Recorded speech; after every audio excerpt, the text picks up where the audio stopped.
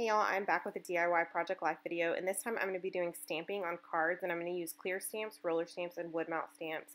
And then I'm also going to be using a variety of cardstock. I'm going to use the pre-cut Project Life white cardstock and grid cardstock, and then a couple pieces of colored cardstock from Simon Says Stamp. And it's not surprising to me, or probably to y'all, that I chose pink and mint for um, my colored cardstock. So I'm starting off by mounting several of these little word stamps that I got in a Project Life Studio Calico kit a while back. And I'm just mounting them all into the block and then I'm going to ink them up with black ink first, but my video gets cut off. So you guys are going to first see me do it with pink ink. And I'm just going to kind of go in a diagonal motion and then the next one when I you guys will see the black ink uh, version and I'm going to do that more straight across. I love the way that these turned out. These are some of my favorite cards in this entire video but the black the black one turns out so crisp. I love the VersaFine ink. That's like my my favorite ink of all time. The only thing about it is it smudges really easily, so you just have to be careful. But this particular ink comes out so crisp. Like if you have a really detailed stamp, this ink is perfect for that.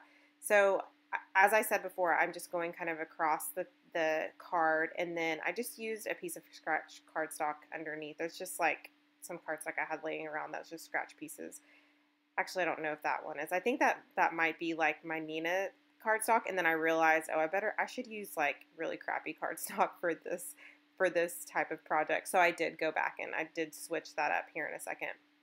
So I am uh, using the Citrus Twist stamp and it's it's kind of a little mini stamp set and it's uh, has a couple different words on it, and I chose documented because that's like a word that I think everybody could use in their project life. And I'm just going in with th three different colors. Now, these are three colors I use a lot, and it's bubblegum, butter, bar, and then orange soda. And those are all three Hero Art Arts inks. I love the way that card turned out as well.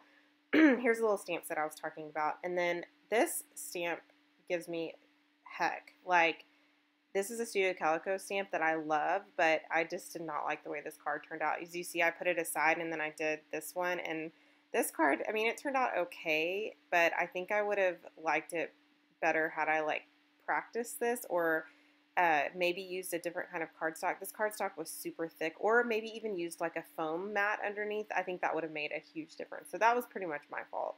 But I just did not like the way that that card turned out as much as the other ones. I do love this one. This can this heart comes from that same Studio Calico stamp set, and I want to say, oh my gosh, okay, the person who does Illustrated Faith. Why can I not think? Why is her name slipping my mind? I think she created this stamp set, and I don't know why I can't think of her name. Anyway, I'm sure she'll forgive me. But it's not like she knows me or anything like that. But anyway, so um, or watches my videos. But so those two inks were um, teal and Malibu, and those were Simon Says Stamp inks. And I used that particular heart. It was kind of an open heart. It was super cute from that particular from that stamp set. And I swear that is like bugging me. Why do I do this? Why do I always forget? And I'm like the type of person. I'm sorry, that was a grid stamp, and I think it's Crafters Workshop maybe. But I in this stamp set is the is a triangle. Um, stamp set from my favorite things, and we got this in a Hip Kit Club a while back, and it's still one of my favorite stamp sets. I'm just using the triangle one, and I have to say that this is probably my absolute favorite card out of the whole collection. But what I was saying before was I always do I always forget stuff and have to look it up like right away. It's like this thing that I have where I'm like, that's gonna kill me. It's gonna bug me for like the whole entire day. And so as soon as I'm done with this video, I'm gonna look up her name because that's that's bugging the crap out of me.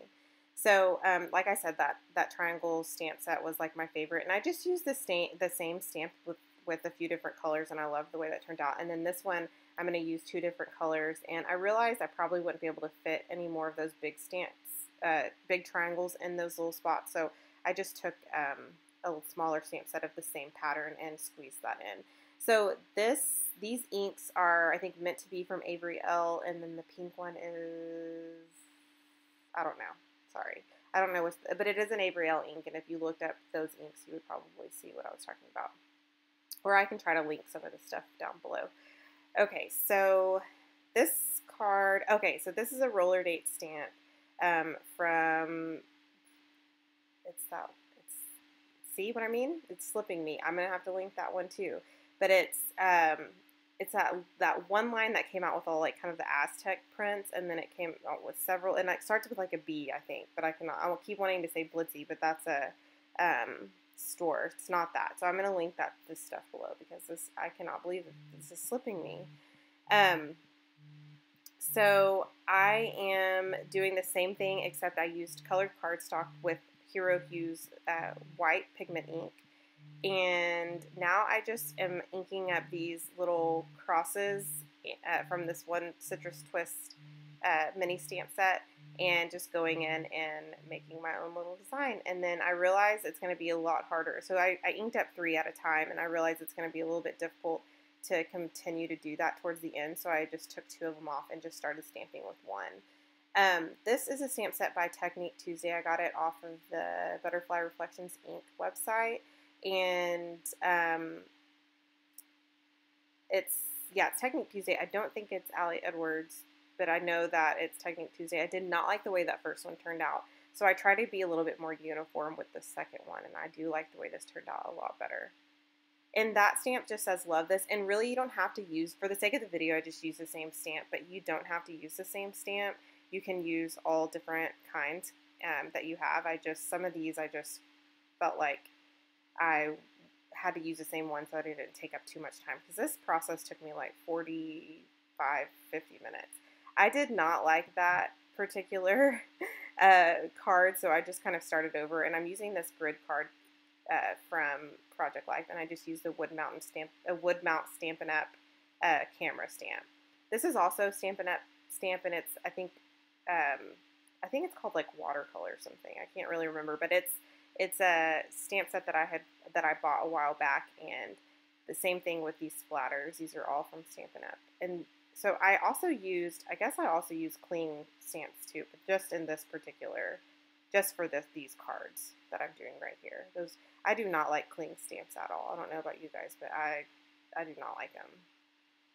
Here's a roller date stamp that I use. So in addition to those other roller stamps that I could not think of the name, um, I'm using this roller date stamp, and I believe this is an October afternoon uh, roller date stamp that we got in a Hip Kit Club. And then this is a clear mount Stampin' Up stamp, and one of my favorites is a geometric one. And I'm going to do kind of an ombre effect, like I, with with three different. I used like a Studio Calico mint at the top, and then in the middle I used Malibu, and the bottom I used teal. Um, and those bottom two colors were Stampin' Up. And then I'm doing the very recent technique of pencil eraser. I just thought it'd be fun to do these last two cards with that, and it's very simple and easy. But that pretty much uh, concludes my project, and if you guys want to see how I use these, stay tuned for the next video. Hope you guys have a great rest of the week, and don't forget to uh, follow me on Instagram, and then also um, stay tuned for the future videos.